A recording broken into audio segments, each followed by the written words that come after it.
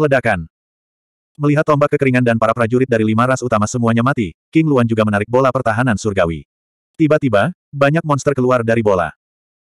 Ketika mereka melihat sejumlah besar mayat di tanah dan kematian tragis Drought Spear, mereka semua memandang Siaping dengan kagum. Dapat dikatakan bahwa meskipun dia belum maju ke alam raja, dia tidak berbeda dengan raja sejati yang dapat membunuh seorang raja. Yang terpenting, menurut bakat abnormal ini, tidak ada monster yang mengira dia akan terjebak di alam master selamanya. Jika monster seperti itu tidak bisa maju ke alam raja, maka tidak ada orang lain di dunia ini yang bisa. Siaping menarik pedang perang tak terbatas dan berjalan di depan King Luan. Dia segera melihat bola pertahanan surgawi di tangannya dan berkata, bola ini sangat bagus. Bola ini benar-benar dapat menahan serangan seorang raja. Bolehkah saya melihatnya? Dia berkedip dan menatap King Luan dengan polos. Jangan pernah memikirkannya. Bisakah kamu mendapatkannya kembali? King Luan dengan tegas menolak dan menatap huligan itu dengan marah. Sejujurnya, semua orang tahu karakter huligan ini. Jika mutiaranya benar-benar jatuh ke tangan orang jahat ini, bagaimana dia bisa mendapatkannya kembali? Itu jelas seperti melempar roti daging ke arah anjing dan memasukkannya langsung ke dalam sakunya sendiri. Kecuali dia gila, dia tidak akan pernah menyetujui hal semacam ini. Pelit sekali. Aku menyelamatkan hidupmu, tapi aku bahkan tidak bisa melihatnya. Siaping merasa permintaannya sangat masuk akal. Monster-monster ini hanya mengukur hati seorang pria dengan ukuran mereka sendiri. King Luan berkata dengan nada menghina, siapa yang butuh bantuanmu? Bahkan jika kamu tidak datang, aku masih bisa melarikan diri. Dia memiliki banyak harta rahasia. Bahkan jika dia diserang oleh seorang raja, dia tidak akan mati. Alasan kenapa dia tidak melarikan diri adalah karena dia mengkhawatirkan nyawa monster lain. Namun, jika itu benar-benar sampai pada saat kritis, dia tidak peduli dengan monster lain dan bisa melarikan diri bersama Tulinglong. Lupakan saja. Jika kamu tidak ingin menunjukkannya padaku, biarkan saja. Siaping memutar matanya. Harta apa lagi yang kamu punya? Kenapa kamu begitu percaya diri? Kenapa kamu tidak mengeluarkannya agar semua orang bisa mengaguminya? Dia mengemukakan sarannya. Kagumi pantatku. King Luan memamerkan giginya dan menatap Siaping. Dia bilang itu adalah harta karun dan kartu truf. Jika dia mengeluarkannya dan memperlihatkannya, itu tidak akan menjadi kartu truf lagi. Terlebih lagi, bajingan ini punya motif tersembunyi. Jika harta yang diambil terlalu berharga, mungkin harta itu akan dirampas oleh bandit ini. Pada saat itu, dia akan kehilangan harta dan nyawanya. Namun, setelah memikirkannya sejenak, dia menatap Siaping, matanya bersinar terang. Tiba-tiba, dia mengedarkan energi iblisnya dan mengirimkan transmisi suara yang hanya bisa didengar oleh dia dan Siaping. Saya memang memiliki banyak harta, tetapi jika Anda menginginkannya, Anda dapat berdagang dengan saya. Kalau tidak salah, kamu pasti mendapat banyak manfaat dari perkemahan lima balapan besar. Mungkin Anda juga telah memperoleh buah roh lima elemen. Suara King Luan terdengar. Dia menduga Siaping mungkin mendapatkan buah roh lima elemen. Kemajuan Siaping terlalu cepat.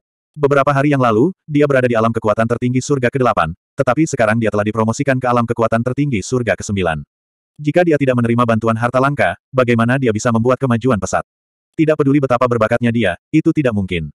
Jadi bagaimana jika aku melakukannya? Lalu bagaimana jika aku tidak melakukannya? Siaping berkata sambil tersenyum. Dengan kekuatannya saat ini, dia tidak perlu takut. Jadi bagaimana jika seseorang mengetahui bahwa dia memiliki buah roh lima elemen? Mereka tidak akan berani merampoknya. Jika dia tidak memiliki kekuatan, dia takut banyak orang akan menginginkannya. Tapi sekarang, dia bahkan bisa membunuh seorang raja. Jika musuh ingin merampoknya, mereka harus memikirkan apakah dia benar-benar punya kekuatan untuk melakukannya atau tidak. Apakah dia mendekati kematian? Tentu saja. Mendengar ini, King Luan terkejut. Dia tahu bahwa menurut karakter bajingan ini, bagaimana dia bisa tinggal di tempat yang sama tanpa alasan dan rela memblokir musuh untuk mereka.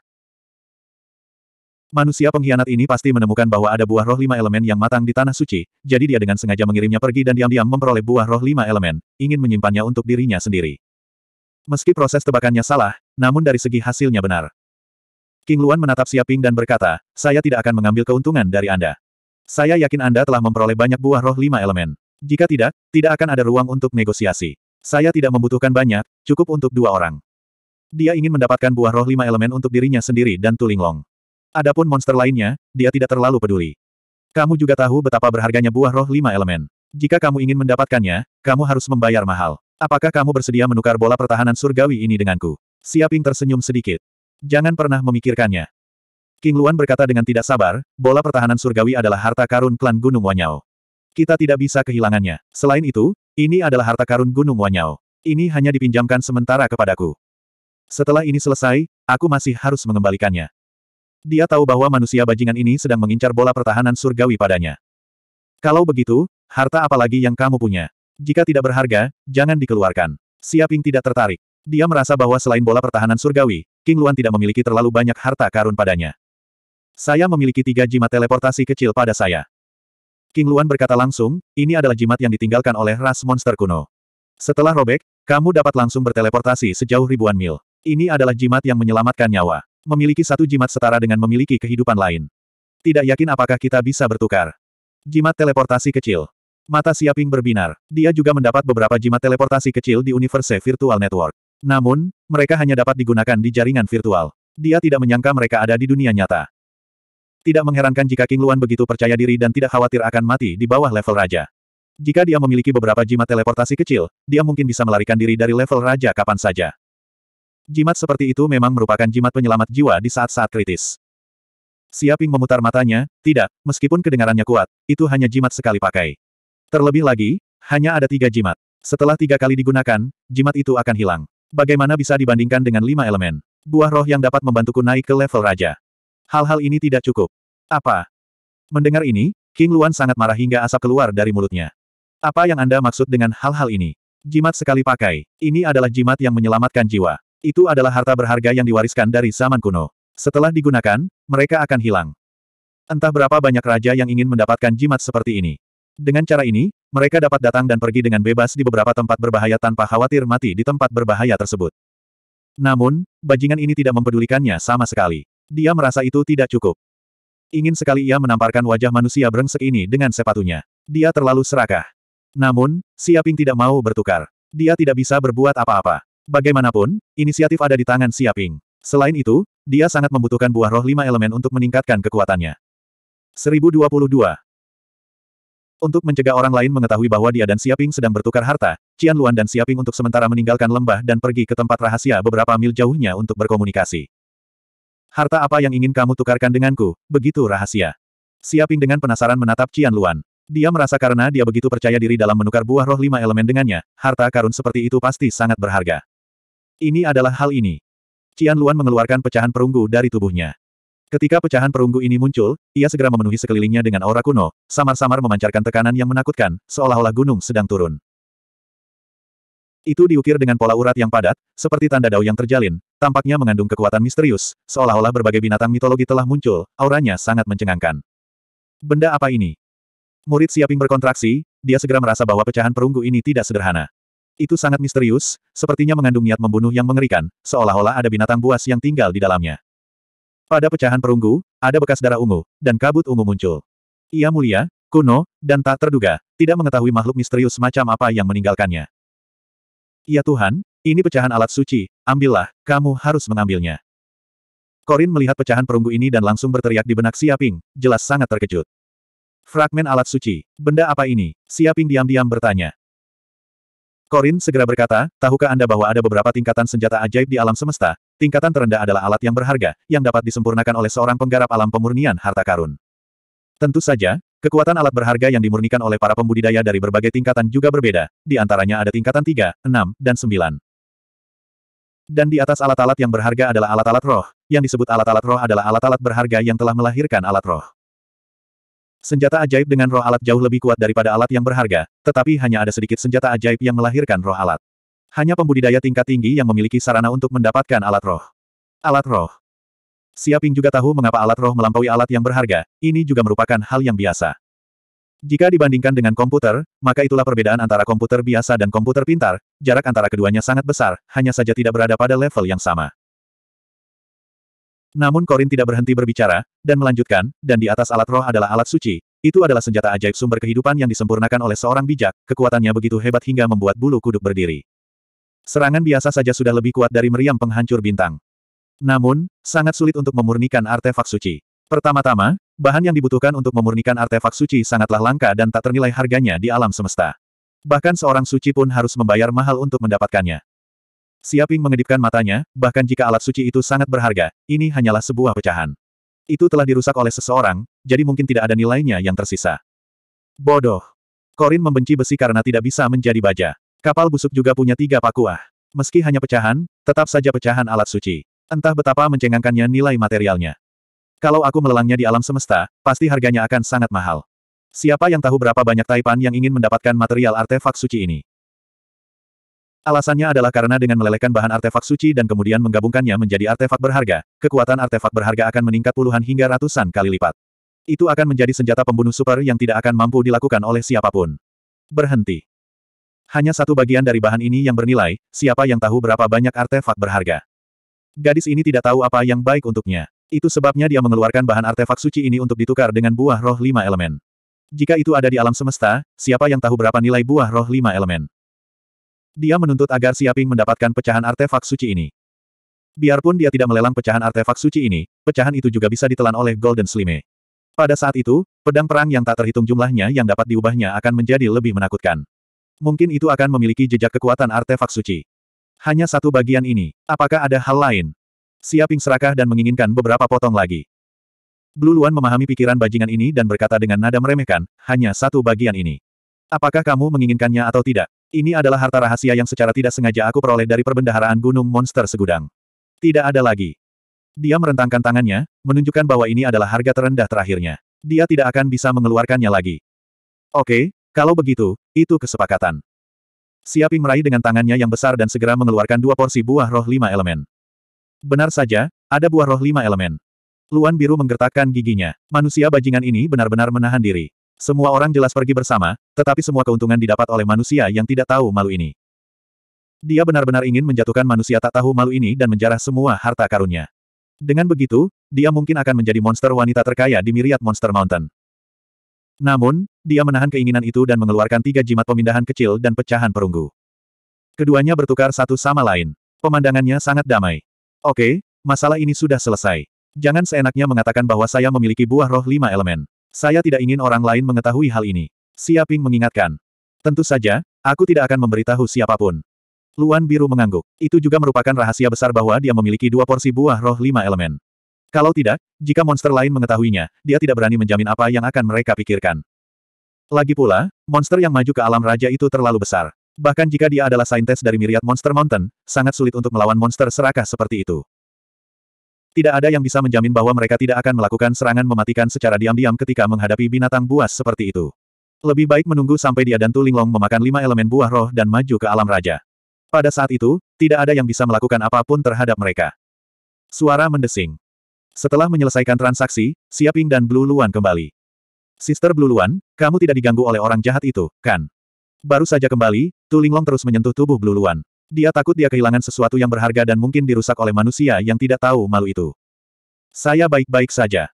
Blue Luan dengan marah membenturkan kepala kecilnya. Oke.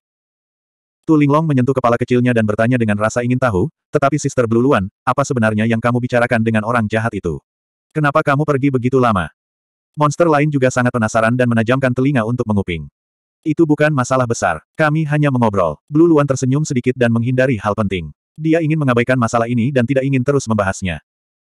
Monster lain sangat kecewa, tetapi karena Blue Luan tidak mau mengatakannya, tidak ada satupun dari mereka yang bisa memaksanya. Oke, jangan bicara omong kosong di sini. Siaping memandangi monster-monster itu dan berkata, saya mendengar berita bahwa altar leluhur lima klan akan segera selesai. Begitu mereka menyelesaikan altar leluhur, mereka pasti akan menghubungi teman-teman mereka di kedalaman alam semesta.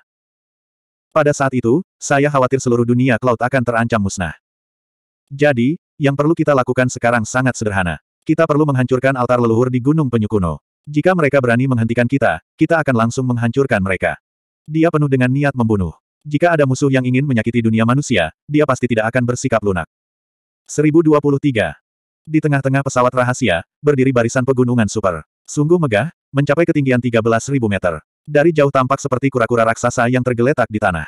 Puncak gunung tersebut diselimuti kabut sehingga tidak mungkin untuk melihat puncaknya dengan jelas. Siapa pun akan merasa tidak berarti di kaki gunung. Gunung ini adalah Gunung Penyu Kuno.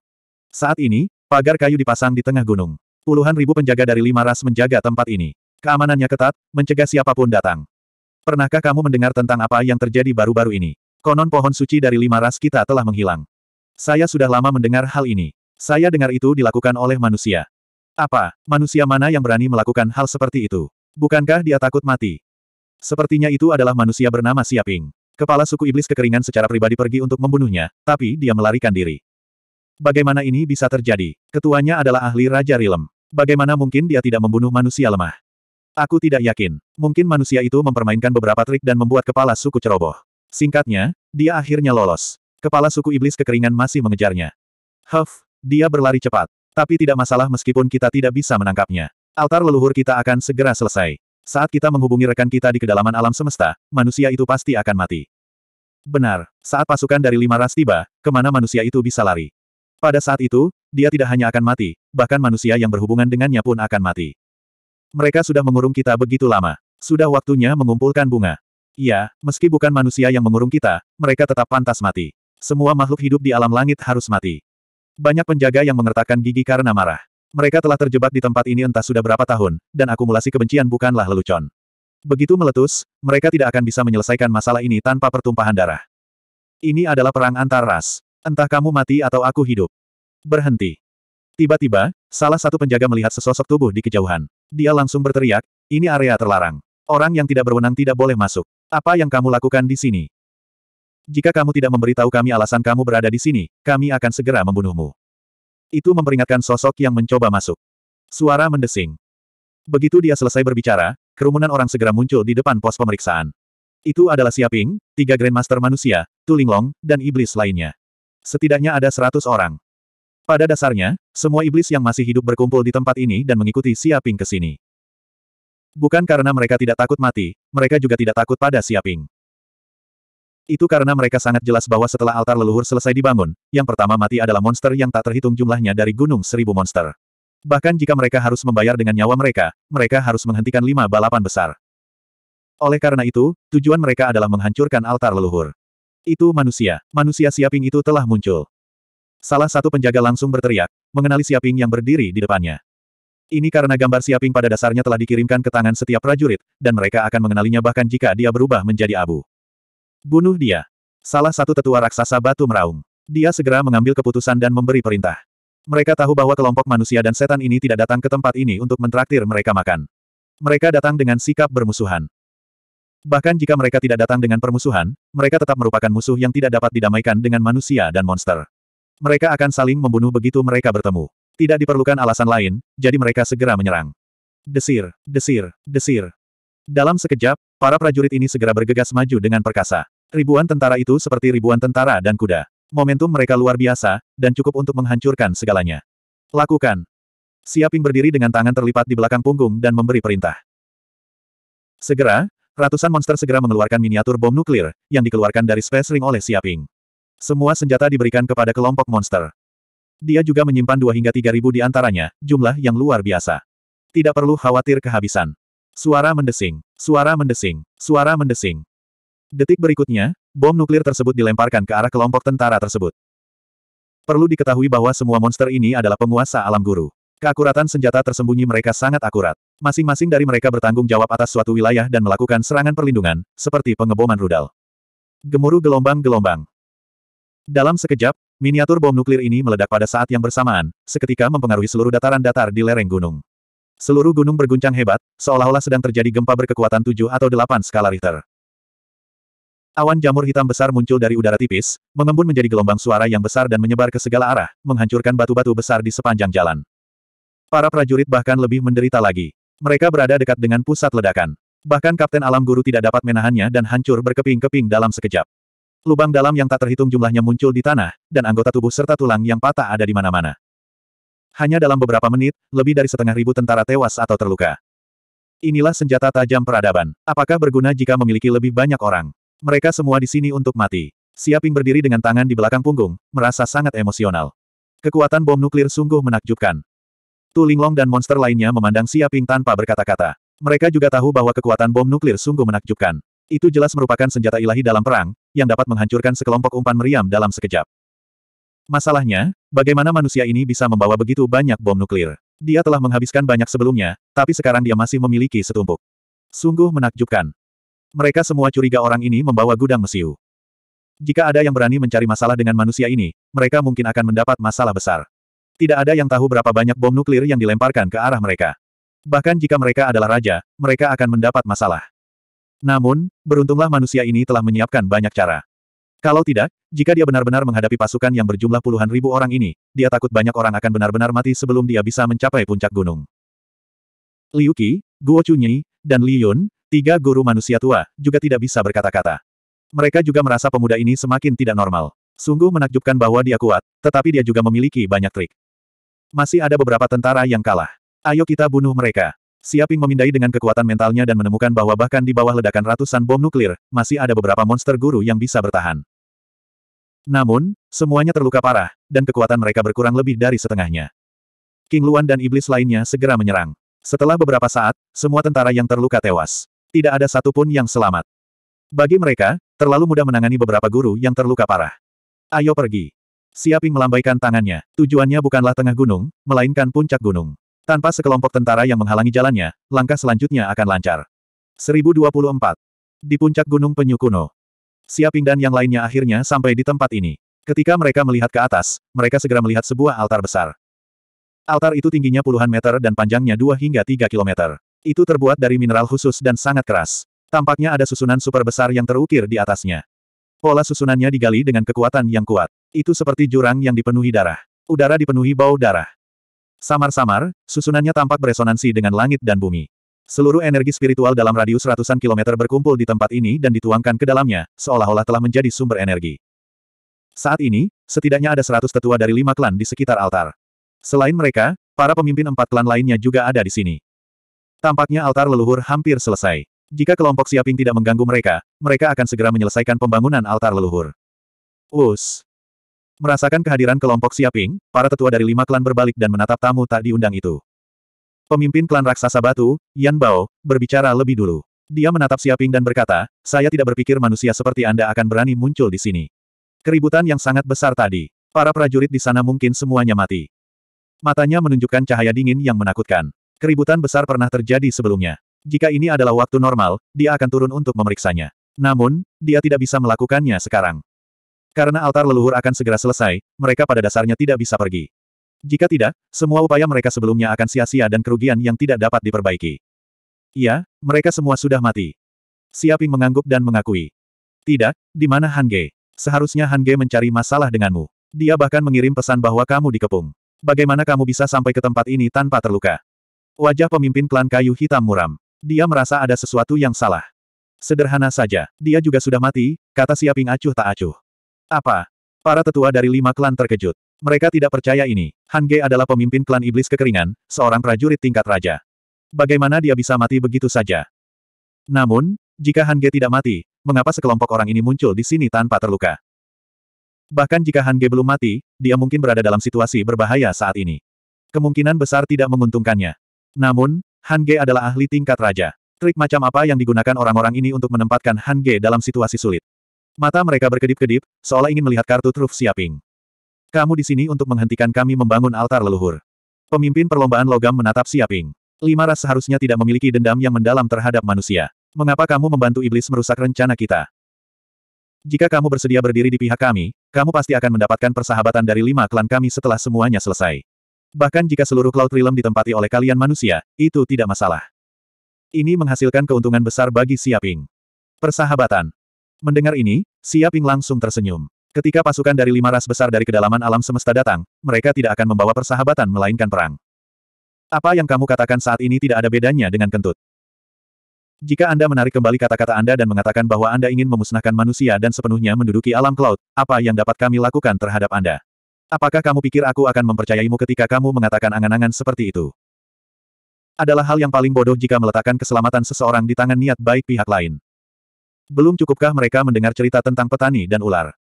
Mungkin pihak lain benar-benar tidak peduli dengan keberadaan Cloud Realm. Mungkin mereka sebenarnya tidak ingin memusnahkan manusia, tapi mungkin juga mereka tidak menyukai manusia dan ingin membunuh mereka semua. Bahkan jika lima ras besar mengetahui bahwa ada beberapa sumber daya yang mereka butuhkan di alam cloud dan ingin menempati tempat ini, kemungkinan besar hal seperti itu akan terjadi. Jika itu benar-benar terjadi, bagaimana manusia di alam cloud bisa melawan? Bisakah mereka menutup mata dan menunggu kematian? Ketika bala bantuan dari lima ras besar tiba, yang bertanggung jawab bukanlah pemimpinnya, melainkan bala bantuannya.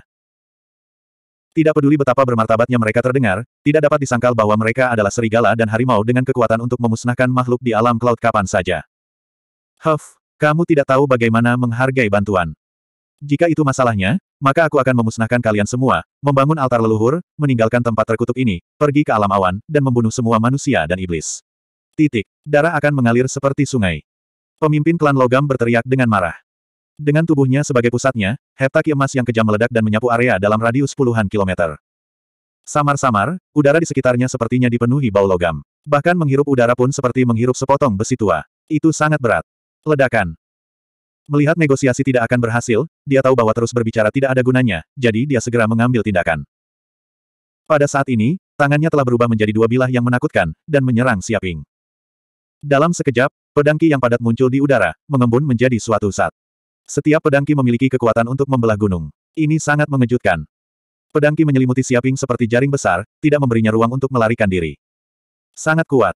Tu Linglong dan iblis lainnya terpaksa mundur. Energi pedang semacam ini dipadatkan dari kekuatan sihir dan seperti pedang sungguhan. Jika seorang Grandmaster biasa melakukan kontak dengannya, pertahanan Gang Ki-nya akan langsung terkoyak dan seluruh tubuhnya akan terbelah menjadi dua. Jika mereka tetap di tempatnya, mereka mungkin akan dibunuh oleh pemimpin klan logam dalam satu gerakan. Ini bukanlah musuh yang bisa dilawan oleh tuan seperti mereka. Yang Godfish. Tanpa mengucapkan sepatah kata pun, Siaping maju selangkah. Api emas setinggi puluhan kaki segera muncul dari tubuhnya. Seperti dewa api, dia meninju dengan tinju besar yang menyala-nyala. Nyala api melonjak dan yang ki luar biasa. Batuan, baja, dan material lainnya dalam radius ratusan meter di sekitar Siaping langsung terbakar. Batuan tersebut bahkan berubah menjadi magma sehingga mengubah kawasan tersebut menjadi gunung berapi. Gemuruh gelombang-gelombang. Saat tinju ditinju, pedang Ki di kejauhan tidak dapat menahan suhu setinggi itu dan langsung terbakar. Itu berubah menjadi sejumlah besar besi cair dan jatuh dari langit. Itu seperti hujan api, menetes dan menetes, merusak tanah. Lubang-lubang dalam yang mengejutkan muncul, dan lubang-lubang itu dipenuhi api. Kekuatan tinju bahkan menembus dan melewati inci demi inci, langsung mengenai pemimpin klan logam. Apa? 1025. Ah! Sang patriark klan logam berteriak. Seluruh tubuhnya terlempar melintasi tanah, meninggalkan bekas mengejutkan di tanah yang membentang beberapa kilometer.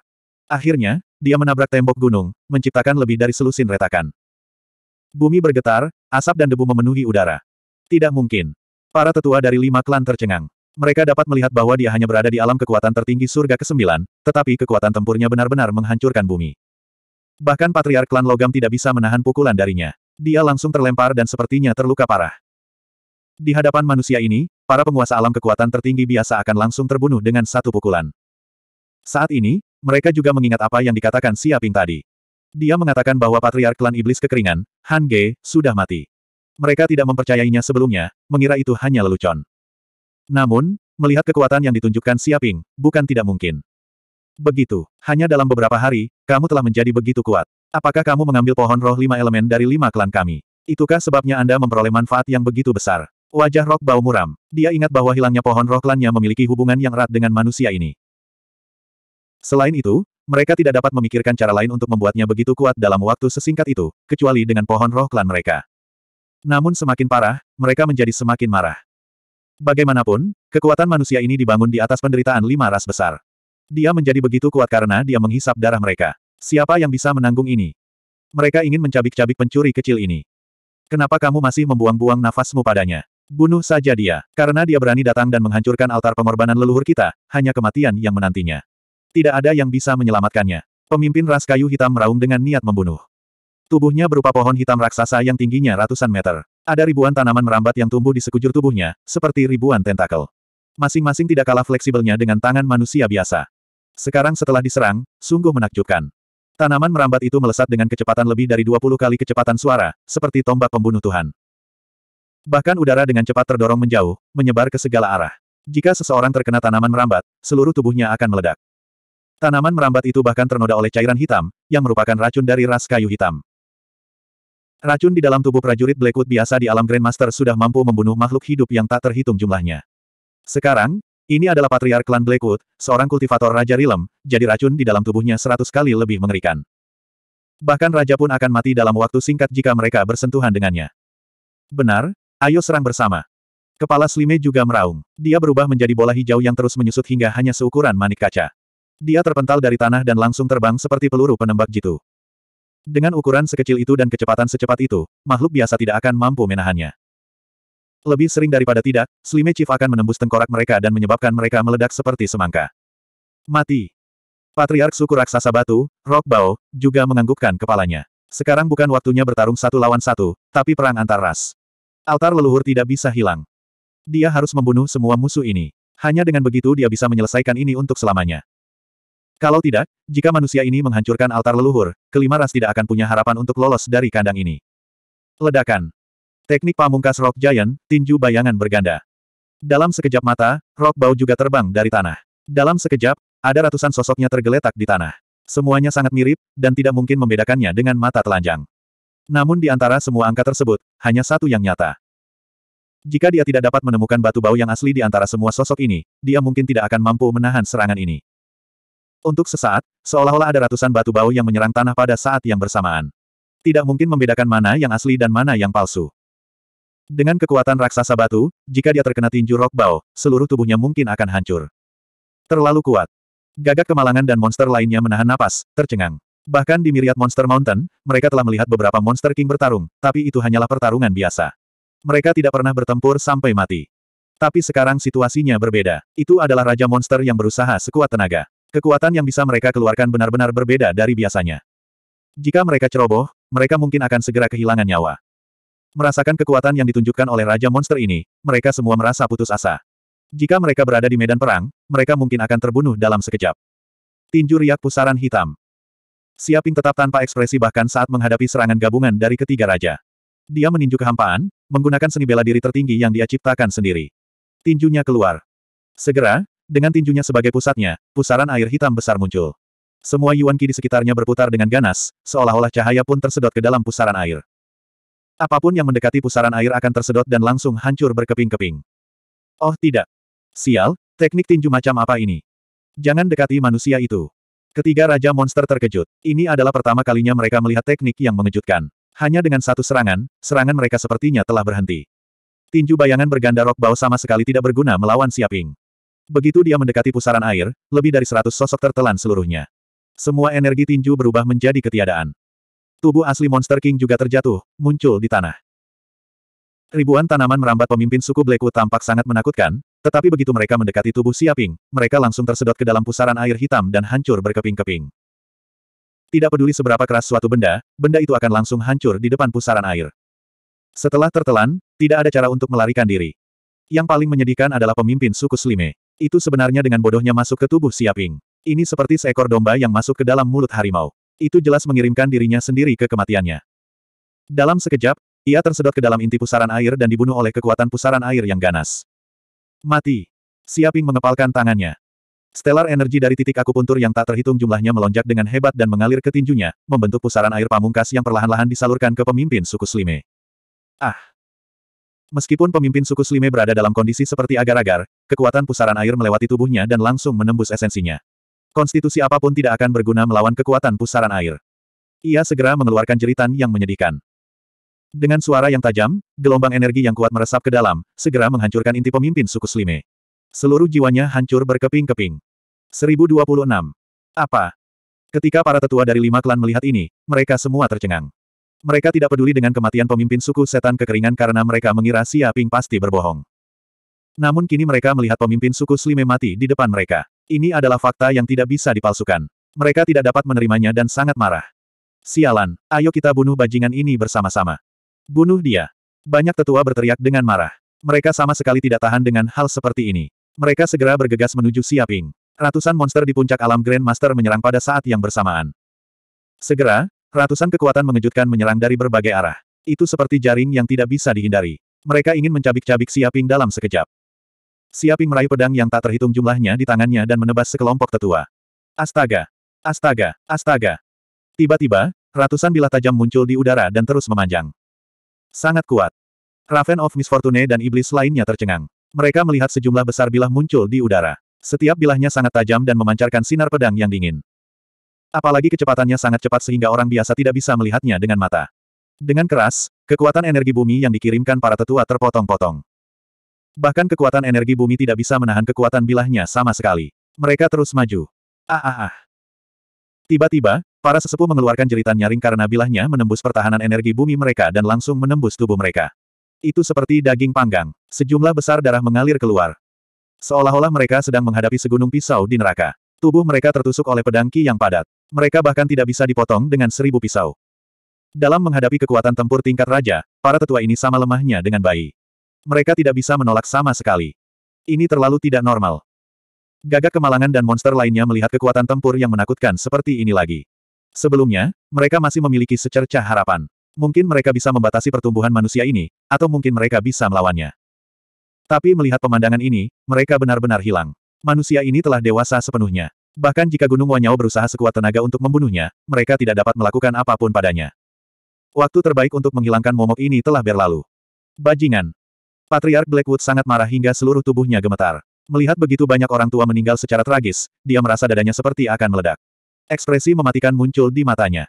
Ayo pergi. Siaping berdarah dingin dan tanpa ampun. Dia tahu bahwa jika dia tidak melenyapkan kelompok musuh ini hari ini, manusia di alam awan akan mati di bawah pedang mereka setelah altar leluhur pihak lain selesai dibangun. Ini adalah perang antar ras. Bagaimana bisa ada belas kasihan? Jika Anda menunjukkan belas kasihan kepada mereka hari ini, mereka mungkin tidak akan menunjukkan belas kasihan kepada Anda di masa depan. Kebaikan seorang wanita hanya akan membunuh tentara. Terlebih lagi, saat mereka mengayunkan pisau dagingnya, mereka tidak memiliki sedikit pun belas kasihan terhadap Anda. Sekarang, hanya karena mereka lemah maka hal itu tampak sangat tragis. Jika mereka cukup kuat dan berada di atas angin, mereka akan mampu membunuh dan merenggut nyawa manusia. Itu akan menjadi cerita yang sangat berbeda. Para Grandmaster manusia yang telah ditangkap oleh lima klan paling bisa merasakannya. Alien-alien itu tidak kalah kejamnya dengan algojo mana pun. Tinju Dewa Matahari. Dia meninju, dan seolah-olah matahari telah muncul di dunia fana. Yang Ki yang menakutkan melonjak, hampir membakar segalanya. Area dalam radius beberapa kilometer dipenuhi panas yang mengerikan. Musuh mana pun yang berdiri di area ini akan merasa seperti akan dimasak. Oh tidak. Ekspresi kepala suku kayu hitam berubah. Kemarahan di hatinya lenyap karena pukulan ini. Saat ini, ia merasa hidupnya seperti lilin yang tertiup angin, yang sewaktu-waktu akan padam. Api yang ada di mana-mana telah sepenuhnya mengunci auranya. Dalam sekejap, mereka mengelilinginya dari segala arah, membentuk pusaran air besar yang seolah-olah hendak menghancurkannya. Apalagi sebagai anggota suku kayu, dia paling takut dengan api. Mereka dikenal sebagai musuh api. Terlebih lagi, api ini adalah api surgawi, yang sangat berbahaya bagi suku kayu hitam. Sekali tersentuh oleh api ini, dia pasti akan mati. Mati. Kepala suku kayu hitam berteriak dengan marah. Ribuan tanaman merambat yang telah hancur dengan cepat pulih karena pertumbuhannya yang pesat. Dia melambaikan ribuan tanaman merambat di udara. Segera, Seolah-olah sekelompok setan menari di udara, menutupi langit. Setiap tanaman merambat seperti tombak dewa. Mereka sangat cepat, menembus segalanya. Udara di sekitarnya bergejolak, mengembun menjadi aura yang menakutkan. Tanaman merambat ini berkumpul dan terjalin satu sama lain, membentuk tombak super panjang yang melesat ke arah tangan api, ingin menembusnya. Ledakan. Pada saat ini, kedua kekuatan tersebut bertabrakan satu sama lain, menciptakan ledakan yang mengejutkan. Udara di sekitarnya bergetar ribuan kali, dan seluruh gunung bergemuruh. Tanah tidak dapat menahan kekuatan ledakan seperti itu. Lubang-lubang yang sangat dalam diledakkan ke dalam tanah. Tanah beterbangan ke mana-mana, dan ratusan retakan menyebar seperti jaring laba-laba. Di kejauhan, bebatuan besar langsung hancur menjadi bubuk. Pohon-pohon juga terlempar, meledak di udara dan jatuh ke tanah. Gagak kemalangan dan monster lainnya ketakutan setengah mati. Mereka semua mundur beberapa kilometer. Ini adalah pertempuran sampai mati antar raja. Jika tuan seperti mereka berani terlibat, hanya kematian yang menanti mereka. Ini sudah di luar pemahaman mereka. Mungkin mereka akan mengerti sedikit jika mereka menjadi raja, tapi sekarang, mereka hanya bisa bersembunyi dengan sekuat tenaga. Tidak baik. Namun, pemimpin ras kayu hitam tidak terlihat senang sama sekali. Meskipun dia telah memblokir kekuatan tinju yang begitu kuat, kekuatan api aneh masih membakar tubuhnya di sepanjang tanaman merambat. Bahkan jika dia ingin menggunakan kekuatan sihirnya untuk memadamkan api, itu tidak ada gunanya. Tampaknya Strain Fire menggunakan tubuhnya sebagai bahan bakar. Bagaikan api yang bertemu solar, ia mulai berkobar dengan dahsyat. Hanya dalam beberapa tarikan napas, dia setengah mati. Seluruh tubuhnya telah berubah menjadi obor besar. Mati. Siaping melompat, mengepalkan tinjunya, dan tiba-tiba meninju. Tanda kepalan emas muncul di udara. Ia melewatinya inci demi inci dan langsung mencapai tubuh pemimpin ras kayu hitam. Dong. Pukulan ini begitu kuat hingga langsung meledakkan tubuh pemimpin ras kayu hitam. Sebuah lubang besar yang mengejutkan muncul di tengah tubuhnya. Pecahan kayu beterbangan ke mana-mana, dan seluruh tubuhnya terkoyak-koyak. Di saat yang sama, kekuatan api mulai membakar tubuhnya. Tampaknya setiap sel di tubuhnya terbakar oleh api. Ah! Pemimpin ras kayu hitam menjerit nyaring. Dia belum pernah mengalami rasa sakit seperti itu dalam hidupnya. 1027. Dong gelombang. Saat Siaping membunuh pemimpin ras kayu hitam dengan satu pukulan dan seluruh medan perang dipenuhi debu dan pasir, sesosok tubuh menyerang dari kegelapan seperti bola meriam dan meninju punggung Siaping. Orang yang menyerang adalah ketua ras raksasa batu, Rock Bao. Ia telah bersembunyi di balik bayang-bayang selama ini, bertahan dan menunggu kesempatan untuk menemukan kekurangan Siaping, untuk menemukan kesempatan untuk memberikan pukulan fatal pada Siaping. Seperti yang diharapkan, saat Siaping membunuh pemimpin ras kayu hitam dengan satu pukulan, dia menemukan kelemahan dalam pertahanan manusia ini dan menyerang dengan tegas. Serangannya dipenuhi dengan niat membunuh yang mematikan. Bisa dikatakan pukulan ini berisi seluruh kekuatan rock bau mulai dari tumit, lutut, pinggang, tulang belakang, leher, lengan, dan kepalan tangannya. Kekuatan semacam ini disalurkan sedikit demi sedikit, dan kekuatannya juga berlipat ganda. Pada saat mencapai kepalan tangan, kekuatannya telah meningkat ke puncak. Pukulan ini juga tidak sederhana. Isinya seni bela diri tertinggi dari ras raksasa batu, yang disebut pukulan vakum batu. Setelah digunakan, kekuatan penghancurnya akan meningkat ke tingkat yang mengerikan dan menghancurkan segalanya. Ledakan gelombang. Benar saja, saat pukulan ini dilempar, seluruh udara dalam radius puluhan meter dikeluarkan, membentuk zona vakum. Udara di sekitarnya dikeluarkan, menciptakan tekanan yang sangat mengerikan. Batuan di kejauhan hancur oleh tekanan ini dan langsung diratakan hingga setebal selembar kertas. Bahkan seorang penggarap alam rumah ungu akan hancur berkeping-keping oleh pukulan ini. Bang! Pukulan ini mendarat tepat di tubuh Siaping, dan suara mengejutkan datang dari sekitarnya. Ini sudah berakhir. Gagak kemalangan dan monster lainnya menjadi gila saat melihat ini. Tentu saja, mereka tidak merasa kasihan atas kematian Siaping, tapi Siaping bisa mati kapan saja, tapi tidak sekarang. Jika Siaping meninggal sekarang, siapa lagi yang bisa menghentikan konspirasi lima ras? Siapa lagi yang bisa menghancurkan altar leluhur? Terlebih lagi, monster tingkat Grandmaster ini hanya akan menjadi umpan meriam melawan kedua raja tersebut. Oleh karena itu, Siaping tidak bisa mati sekarang.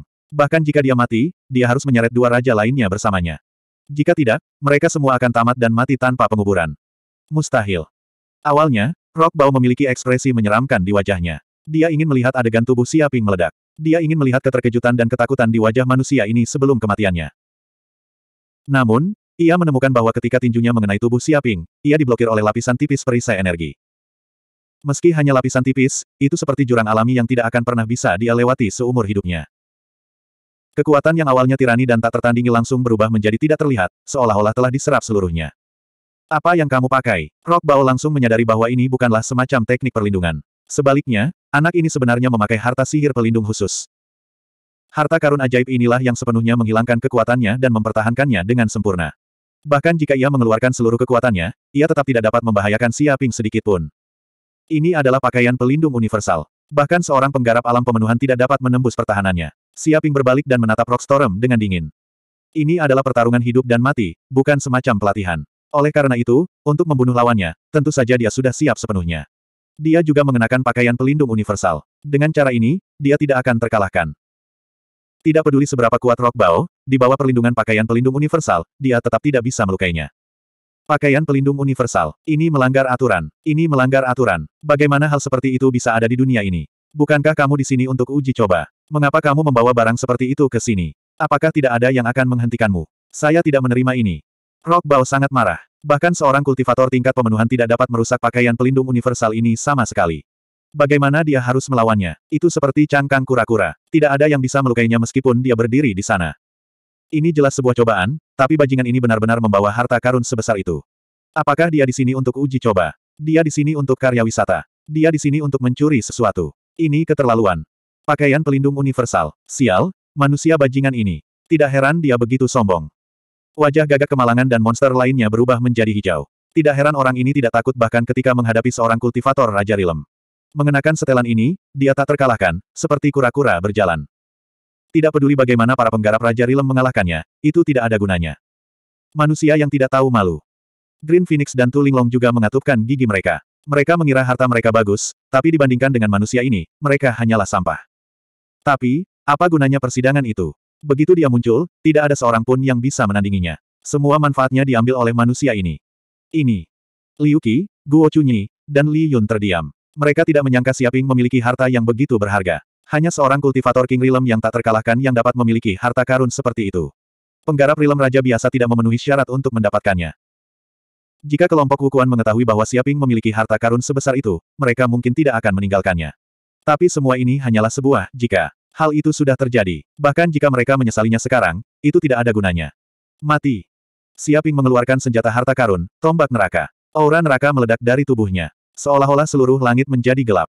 Ratapan hantu dan lolongan serigala datang dari segala arah. Seolah-olah gerbang neraka akan terbuka di kedalaman ruang dan waktu. Roh jahat yang tak terhitung jumlahnya akan keluar dari gerbang neraka. Dia memegang tombak neraka dengan erat dan menikamnya ke Rockstorm. Rockstorm terlalu dekat dengan Siaping, dan dia sedang dalam proses pingsan. Bahkan jika dia ingin menghindar, dia tidak akan bisa bereaksi pada jarak sejauh itu. Dong! Tombak neraka menembus tubuh Rockstorm tanpa ragu-ragu. Tubuh Rockstorm telah diolah dengan menyerap esensi meteorit dari luar angkasa. Pedang biasa, pedang, dan bahkan bom nuklir tidak dapat menghancurkan tubuh ini. Rockstorm juga mengandalkan tubuh Vajra yang tidak bisa dihancurkan ini untuk mendominasi. Dia sama sekali tidak takut dengan nyawanya sendiri. Namun di bawah tombak neraka, tubuh Rockstorm tidak lebih kuat dari selembar kertas. Itu mudah ditusuk seperti tahu. Ah!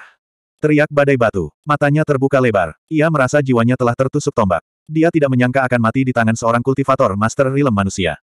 Dengan keras, seluruh tubuhnya roboh ke tanah. Api jiwa jauh di dalam matanya telah padam. Tanpa dukungan api jiwa, semua bebatuan di tubuhnya hancur dan jatuh ke tanah, menciptakan kawah yang sangat dalam dengan dentuman keras. Masih ada satu lagi. Siaping tidak peduli dengan Rock Storm yang mati. Dia berbalik untuk mencari pemimpin metal Rache. Dia belum muncul sejak dia dipukul. Apa? 1028. Apa yang orang ini coba lakukan? Siaping menyipitkan matanya. Dia secara naluriah merasa bahwa pemimpin metal Rache tidak akan melakukan hal baik saat ini, tapi sudah terlambat untuk menghentikannya sekarang. Oh tidak, ia ingin mengorbankan tubuhnya untuk mengaktifkan altar leluhur. Kita tidak bisa membiarkannya berhasil. Ekspresi Green Phoenix berubah. Dia tiba-tiba teringat beberapa informasi tentang altar leluhur. Jika hampir selesai dan seseorang mengorbankan dirinya, altar leluhur bisa diselesaikan terlebih dahulu. Bahkan bisa mengaktifkan koneksi secara paksa. Ini mungkin yang dipikirkan oleh pemimpin Metal Rache. Mungkin setelah melihat para pemimpin dari empat ras mati, ia tahu bahwa jika ia tidak mengorbankan dirinya, ia akan dibunuh oleh Siaping. Akan lebih baik mengorbankan dirinya sendiri dan mengaktifkan altar leluhur. Gemuruh gelombang-gelombang. Segera setelah selesai berbicara, pemimpin perlombaan logam melebur ke dalam genangan logam cair. Itu langsung melebur ke dalam altar leluhur, menutupi semua kekurangan di altar leluhur. Kemudian, seluruh altar leluhur dipenuhi energi. Itu memancarkan cahaya merah darah yang tak ada habisnya. Siaping menoleh dan melihat bahwa setiap pola di altar leluhur menyala. Sebuah matriks besar dan misterius muncul di langit, mencakup radius ribuan kilometer. Matriks tersebut sepertinya terhubung dengan kedalaman alam semesta. Peta alam semesta muncul. Ada banyak bintang di peta, yang sepertinya mewakili posisi setiap altar leluhur di alam semesta. Pada saat yang sama, altar tersebut sepertinya dipenuhi dengan raungan ras kuno yang tak terhitung jumlahnya. Ada juga penyihir yang bernyanyi. Ada kehadiran kuno, biadab, dan kacau di mana-mana. Ini adalah warisan, ini adalah sejarah. Tampaknya altar tersebut mencatat pengalaman lima ras dari zaman kuno hingga saat ini. Ia mewarisi masa lalu, terhubung ke masa depan, dan berkomunikasi dengan alam semesta. Warisan semacam ini tidak akan pernah rusak. Sudah berakhir, altar leluhur telah diaktifkan. Gagak kemalangan dan monster lainnya putus asa. Mereka tidak menyangka akan gagal pada saat kritis ini. Pemimpin ras logam telah mengaktifkan altar leluhur. Setelah diaktifkan, tidak ada cara untuk menghentikannya. Mereka hanya bisa menyaksikan altar leluhur diaktifkan dan terhubung dengan lima ras di alam semesta. Tidak lama kemudian mereka menarik banyak musuh. Ini adalah situasi yang tidak ada harapan. Hah? Siaping mengangkat alisnya. Energi mentalnya menyebar ke segala arah, dan dia segera merasakan dunia bergetar. Saat altar leluhur diaktifkan, dunia telah mengalami perubahan besar. Saat altar leluhur hendak berkomunikasi dengan alam semesta dan mengirimkan informasi dari tempat ini, seluruh langit berubah dan bidang rahasia mulai bergetar. Bang bang bang. Sebuah lubang hitam besar muncul di atas altar, dan sambaran petir hitam yang mengerikan turun dari lubang hitam, menghantam altar seperti hukuman ilahi. Dalam sekejap mata, puluhan ribu petir hitam turun, mengandung kekuatan untuk menghancurkan dunia.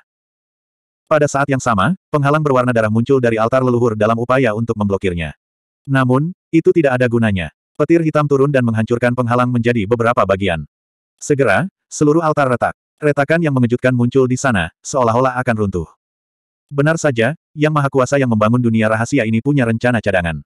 Suara Korin bergema. Hati Siaping bergetar. Maksudnya itu apa? Alasannya sangat sederhana.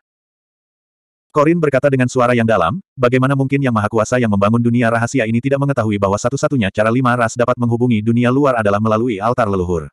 Pihak lain juga mengharapkan hal ini. Jadi, untuk mencegah hal ini, setelah lima ras mengaktifkan altar leluhur, itu akan segera memicu kekuatan pembatas yang tersisa di dunia rahasia ini.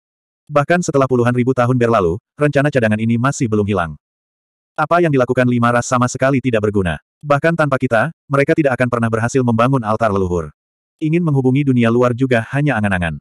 Dia sangat emosional. Sebagai yang maha kuasa, manakah di antara mereka yang berwatak sederhana? Mereka hampir memperhitungkan semuanya. Karena pihak lain berani melakukan hal seperti itu, bagaimana mungkin mereka tidak memperhitungkan semua celahnya? Lagi pula, jika masalah ini sampai bocor, maka akan menjadi bencana bagi Gunung Wanyao. Jadi, apa pun yang terjadi, mereka tidak akan membiarkan lima ras memiliki kesempatan untuk menghubungi dunia luar. Bang bang bang. Sepuluh ribu sambaran petir hitam lainnya menyambar. Altar leluhur, yang seharusnya tidak bisa dihancurkan, kini hancur berkeping-keping. Formasi misterius di kehampaan telah lama dihancurkan. Semua energi terkandung di dalam ruang ini, tidak dapat disalurkan keluar. Boom gelombang-gelombang. Tapi itu belum berakhir. Setelah sambaran petir hitam selesai turun, lubang hitam di atas altar tidak hilang. Perlahan-lahan berputar, sangat dalam. Pada suatu saat, langit pecah seperti kaca. Suara berderak terdengar, dan ratusan retakan muncul. Mereka membentang ribuan kilometer, tanpa terlihat ujungnya. Oh tidak. Warna kulit Korin berubah, yang maha kuasa ini benar-benar terlalu kejam. Rencana cadangan yang ditinggalkannya tidak hanya untuk menghancurkan altar leluhur, tetapi juga untuk meledakkan seluruh dunia rahasia. Apa? Mata Siaping menunjukkan sedikit cahaya dingin, apa artinya meledakkan seluruh dunia rahasia? Mungkin Yang Maha Kuasa juga berharap bahwa lima ras masih bisa berhasil membangun altar leluhur di bawah pengawasan ketat ras iblis. Jelas, masalah besar pasti terjadi pada ras iblis. Mungkin saja mereka telah menolak sepenuhnya. Korin berkata dengan suara yang dalam, oleh karena itu, Myriad Demon Mountain juga diperkirakan tidak akan mampu menyeimbangkan kekuatan lima ras utama. Karena itu masalahnya, akan lebih baik untuk menghancurkan seluruh dunia, dan menghapusnya secara menyeluruh. Jejak lima ras besar, dan akhiri semua masalah. Metode yang sangat kejam. Setelah dunia rahasia ini dihancurkan, tidak akan ada jejak yang tersisa. Bahkan lima ras tidak akan dapat menemukan petunjuk apa pun. Sebaiknya kamu segera pergi. Jika tidak, kamu akan dihancurkan bersama dengan dunia rahasia ini. Itu memperingatkan Siaping. Siaping merentangkan tangannya, bagaimana caraku pergi? Tidak ada jalan keluar di dunia ini. Kecuali saya maju ke alam raja, saya akan diusir oleh dunia ini. Dia juga tidak berdaya. Dulu tidak ada jalan keluar, tapi sekarang ada. Apakah kamu melihat lubang hitam di udara? Itulah satu-satunya jalan keluar di dunia ini. Korin menunjuk lubang hitam di langit. Itu memulai mekanisme kehancuran dunia, tapi juga meninggalkan satu-satunya kekurangan. Borlah ke dalam lubang hitam ini dan kamu bisa meninggalkan dunia ini. Keluar. Mendengar ini, Siaping mendongak dan melihat lubang hitam itu tidak jauh dari sini. Dia langsung sangat gembira. Dengan jalan keluar ini, dia tidak perlu khawatir mati di dunia rahasia ini. Memikirkan hal ini, dia segera memanggil Tu Linglong dan monster lainnya untuk segera meninggalkan tempat yang akan dihancurkan ini. Meskipun Tu Linglong dan monster lainnya tidak tahu apa yang sedang terjadi, mereka juga tahu bahwa keadaannya sangat berbahaya sekarang. Aura kehancuran ada di mana-mana. Jika mereka tidak melarikan diri sekarang, mereka akan benar-benar tamat. 1029 di pulau terpencil tanpa nama di lautan dunia awan tanpa batas. Pada saat ini, sebuah lubang hitam tiba-tiba muncul di langit di atas pulau terpencil tanpa nama. Energi di dalamnya perlahan berputar seperti kekacauan, meluas ke tempat yang tidak diketahui. Bang bang bang. Pada saat ini, sosok-sosok segera jatuh dari lubang hitam. Itu adalah Siaping dan yang lainnya. Mereka semua mendarat di tanah pulau terpencil. Setelah mereka semua pergi, tidak butuh waktu lama sampai lubang hitam itu perlahan menghilang. Namun, serangkaian ledakan yang menggemparkan bumi datang dari dalam, seolah-olah mengandung energi bom nuklir yang jumlahnya tidak diketahui jumlahnya. Jika energi tersebut menyebar ke dunia cloud, setengah dari daratan dunia cloud mungkin akan hancur. Apakah wilayah rahasia itu benar-benar hancur? Tu Linglong tercengang. Dia merasakan gelombang kehancuran menyebar. Jika Siaping tidak memperingatkan mereka sebelumnya, mereka akan melarikan diri dengan cepat. Mungkin dia juga akan terkena dampaknya. Jika masih ada orang di wilayah rahasia itu, mereka pasti akan mati. Itu pasti telah dihancurkan. Ini adalah metode dari orang suci iblis kuno. Tidak ada yang bisa menentangnya. Blue Luan juga merasakan gelombang seperti itu. Dia segera tahu bahwa tidak ada seorang pun yang bisa melakukan hal seperti itu kecuali orang suci iblis kuno. Manusia jahat, apa pun yang terjadi, aku berterima kasih padamu kali ini. Aku akan membalas budi kali ini. Tu Linglong menggigit bibirnya dan memandang Siaping dengan enggan. Dia sebenarnya telah berkali-kali diselamatkan oleh manusia tak tahu malu ini. Mengapa kamu tidak mengembalikannya sekarang? Saya sangat tertarik dengan manik yang kamu miliki. Mengapa kamu tidak mengeluarkannya dan biarkan saya melihatnya? Siaping mengedipkan matanya dengan polos. Enyah. King Luan dan Tu Linglong keduanya berbicara serempak. Manusia bajingan ini benar-benar tidak menyerah, dia masih dengan iri mengincar bola pertahanan roh surgawi di tubuhku. Terlalu berbahaya tinggal bersama pencuri kecil seperti itu, lebih baik pergi secepat mungkin. Jika mereka tinggal lebih lama lagi, mereka mungkin dirampok oleh pencuri manusia ini. Baiklah, karena kita semua keluar dari wilayah rahasia itu, ucapkan selamat tinggal. Kuharap kita tidak bertemu lagi. Blue Luan menatap tajam ke arah Siaping. Wajah cantiknya memerah karena marah. Suara mendesing. Begitu dia selesai berbicara, dia, Tu Linglong, gagak kemalangan, dan monster lainnya dengan cepat meninggalkan pulau terpencil itu. Bagaimanapun juga, ini adalah laut tanpa akhir, bukan wilayah Gunung Wanyao. Jika mereka bertemu musuh klan iblis, mereka mungkin berada dalam bahaya. Lebih baik pergi secepat mungkin. Melihat iblis itu pergi, ketiga Grandmaster manusia itu menggelengkan kepala dan menghela nafas. Huh, Aku tidak menyangka ini akan terjadi di wilayah rahasia ini. Ini sungguh suatu kerugian. Bukan saja kita tidak mendapatkan buah roh lima elemen, tetapi sejumlah besar guru manusia meninggal. Sepertinya jalan kita untuk menjadi raja telah terputus. Tidak ada harapan bagi kita dalam hidup ini. Ini adalah takdir, kita harus menerimanya. Namun, bisa mengenal teman kecil Sia membuat perjalanan ini berharga. Liu Qi, Guo Chunyi, dan Li Yun semuanya tidak berdaya. Mereka telah berpartisipasi dalam ujian arcana dengan tekad untuk mati, tapi mereka tidak mengharapkan hasil seperti itu. Pada akhirnya, mereka masih tidak dapat maju ke alam raja, dan itu seperti menimba air dengan saringan. Belum tentu. Siaping tersenyum. Sejujurnya, aku sebenarnya telah memperoleh beberapa buah roh lima elemen. Dia meraih dengan tangan besarnya dan mengeluarkan tas kain dari tubuhnya, yang berisi tiga porsi buah roh lima elemen. Apa? Liu Qi, Guo Chunyi, dan Li Yun mau tidak mau melebarkan mata dan menyempitkan pupil mereka ketika mereka merasakan fluktuasi energi di dalam tas kain. Mereka tidak percaya dengan apa yang mereka lihat. Tampaknya selama mereka menghirup spirit ki yang dipancarkan dari tas, mereka bisa merasakan kemacetan di tubuh mereka semakin mengendur. Jika dia mengkonsumsinya, maka maju ke alam raja pasti hanya masalah waktu saja. Senior, sama-sama, ini hadiahku untukmu. Siaping menyerahkan lima elemen buah roh kepada mereka bertiga. Ini, ini. Tidak, tidak, hadiah ini terlalu berharga. Ya Tuhan, ini adalah buah roh lima elemen, buah rahasia yang dapat membantu orang maju ke alam raja. Apakah kamu gila memberikannya begitu saja? Cepat, ambil kembali, itu terlalu berharga. Liu Qi, Guo Chunyi, dan Li Yun semuanya terkejut, tapi mereka tetap menahan keinginan untuk memberikannya.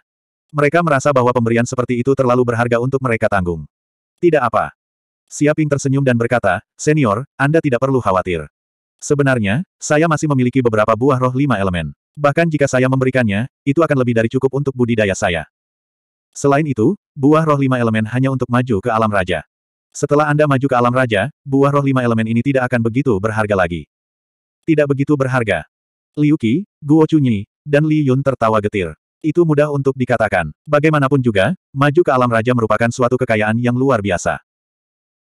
Jika orang mengetahui bahwa Siaping memiliki buah roh ini, mereka mungkin akan memulai perang dan banyak orang akan datang untuk merebutnya. Tapi anak ini bilang nilainya tidak terlalu bagus. Hanya seorang jenius tiada taraf seperti dia yang bisa mengucapkan kata-kata sombong seperti itu.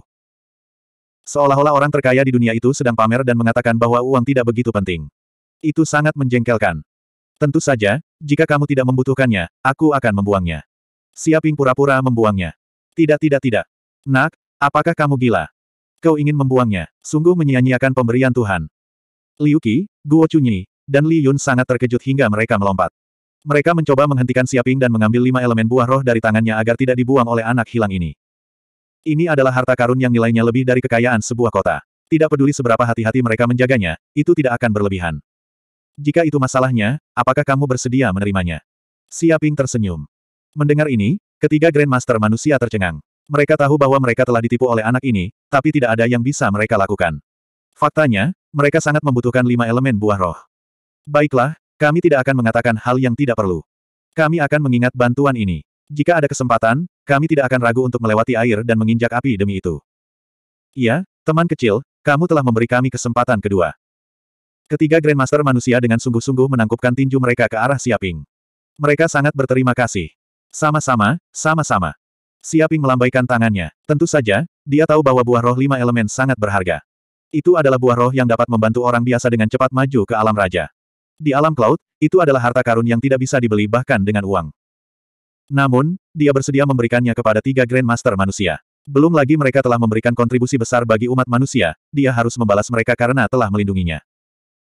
Tentu saja, jika dia memperoleh pohon roh lima elemen, dia akan dapat terus menghasilkan buah roh lima elemen di masa depan. Ini adalah kekayaan yang tak terbayangkan. 1030. Setelah mendapatkan buah roh lima elemen, Liu Qi, Guo Chunyi, dan Li Yun pergi.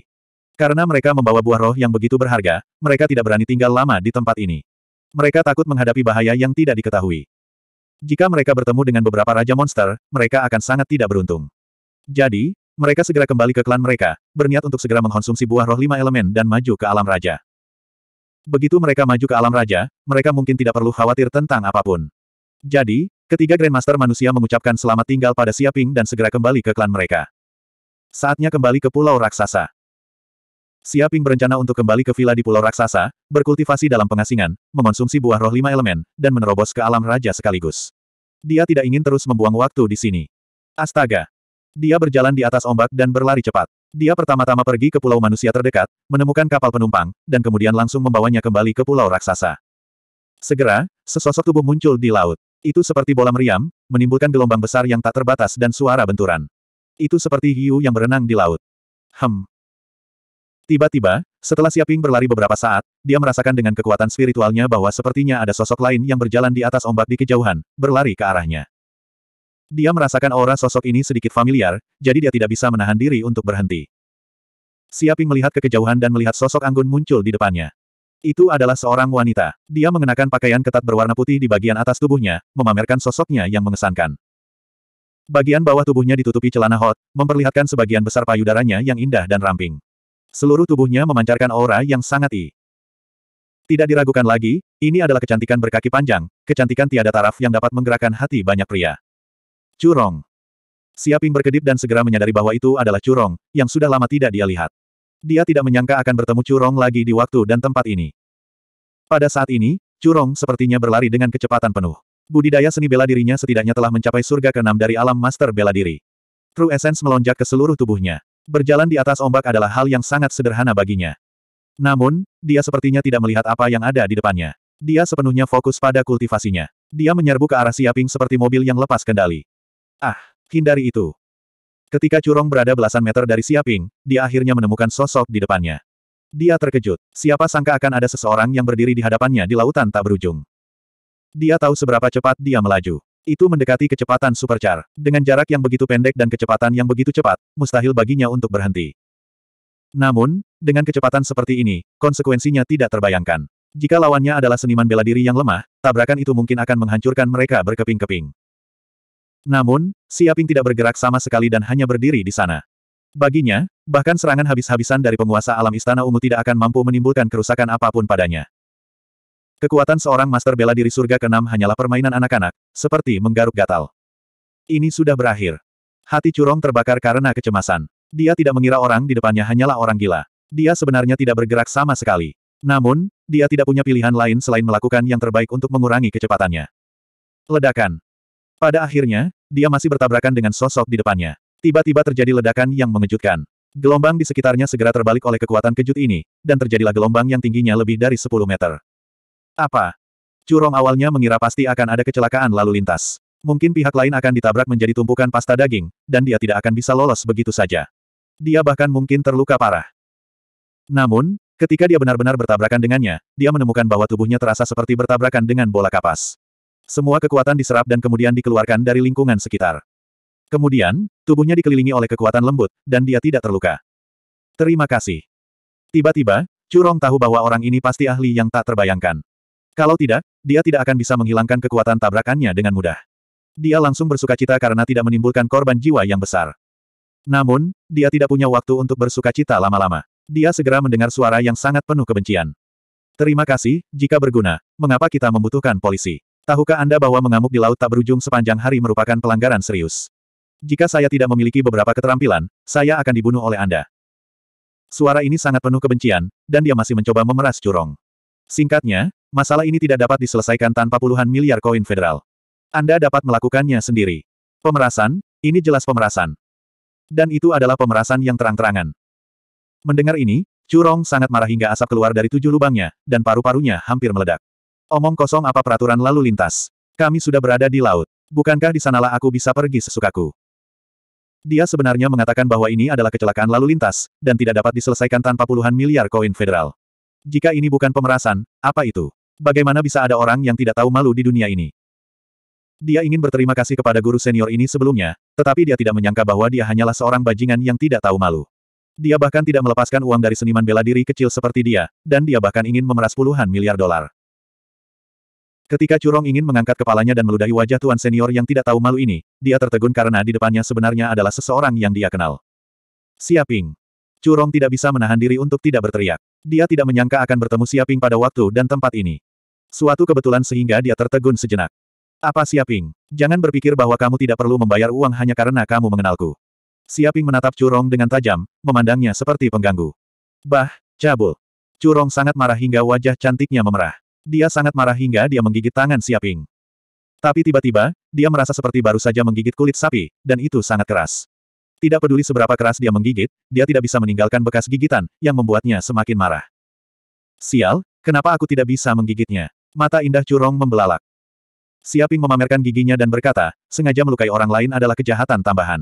Kali ini, sepertinya masalah ini tidak dapat diselesaikan tanpa menikah denganku. Siapa yang akan menikahimu? Jangan pernah memimpikannya. Wajah cantik Curong memerah dalam sekejap, dan mata indahnya berair. Dia masih menatap tajam pada orang cabul ini. Menabrak.